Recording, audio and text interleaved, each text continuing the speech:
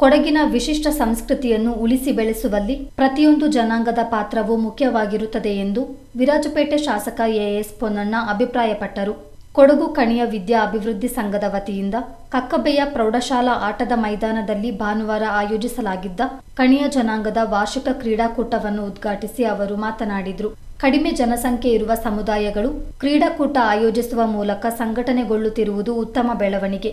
ಪ್ರತಿಯೊಂದು ಜನಾಂಗವು ತನ್ನದೇ ಆದ ಆಚಾರ, ವಿಚಾರ, ಸಂಸ್ಕೃತಿ ಸಂಪ್ರದಾಯಗಳನ್ನು ಹೊಂದಿದ್ದು ವೈವಿಧ್ಯತೆಯ ನಾಡು ಕೊಡಗು ಎಂದರು ಕ್ರೀಡೆಯು ಸಮುದಾಯ ಬಾಂಧವರನ್ನು ಒಗ್ಗೂಡಿಸುವ ಜೊತೆಗೆ ದೈಹಿಕ, ಮಾನಸಿಕ ಸದೃಢತೆಗೂ ಸಹಕಾರಿಯಾಗಿದೆ ಎಂದು ಪೊನ್ನಣ್ಣ ಹೇಳಿದರು.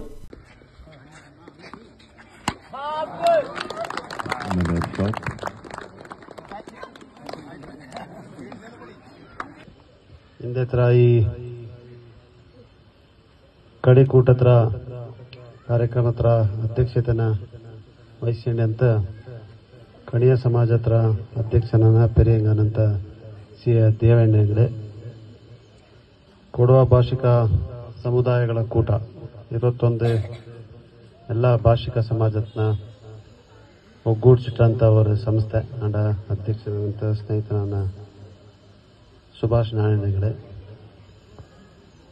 ನಂಗಡ ಡೆವಲಪ್ಮೆಂಟ್ ಕಮಿಟಿದ ಸದಸ್ಯ ಕಾಂಗ್ರೆಸ್ ಪಕ್ಷದ ನಾಯಕನಾದಂಥ ಲವಾ ಚಿನ್ನಪ್ಪನ ಹೆಗಡೆ ಮಾಜಿ ಅಧ್ಯಕ್ಷನಾದಂಥ ಸಂಪನ್ನ ಕಣಿಯ ವಿದ್ಯಾಭಿವೃದ್ಧಿ ಸಂಘದ ಅಧ್ಯಕ್ಷ ಚಂದುವಂಡ ದೇವಯ್ಯ ಕಾರ್ಯಕ್ರಮದ ಅಧ್ಯಕ್ಷತೆ ವಹಿಸಿದ್ರು.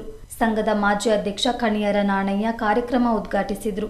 ಡಾಕ್ಟರ್ ಮೇಚಿರ ಸುಭಾಷ್ ನಾಣಯ್ಯ, ಕೆಡಿಪಿ ಸದಸ್ಯ ಬಾಚಮಂಡ ಲವ ಚಿನ್ನಪ್ಪ, ಬುಡಕಟ್ಟು ಜನಾಂಗದ ಅಧ್ಯಕ್ಷ ಕುಡಿಯರ ಮುತ್ತಪ್ಪ ಸೇರಿದಂತೆ ಮತ್ತಿತರರು ಇದ್ದರು.